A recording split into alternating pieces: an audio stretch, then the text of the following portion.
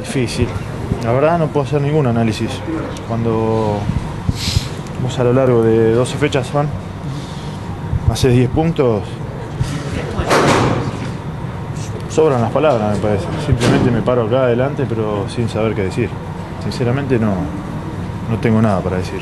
¿No le encuentran explicaciones o el nivel es bajo? ¿A, a qué lo atribuyen? Sí, tenemos la obligación de seguir trabajando y tratar de buscar respuestas, pero se va achicando el margen de lo que queda del campeonato y, el equipo no, no levanta, más allá de que en algunas cosas se ha mejorado, obviamente no alcanza, la campaña es pésima, si se suma la del semestre pasado es peor que pésima, así que simplemente queda hablar poco, trabajar y ver si podemos terminar de alguna manera decorosa el torneo. Son parte del juego las lesiones.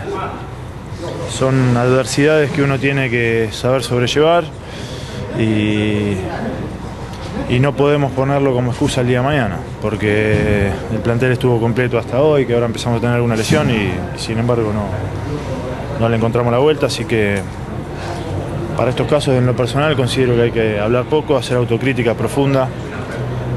No hay duda de que a nivel institucional y todos los que integramos hoy Banfield algo estamos haciendo mal para llegar a este momento. Eh, que venga un rival como San Martín de San Juan, que es un rival directo, y Lanús quizás puede ser un buen punto de partida si ganan los dos.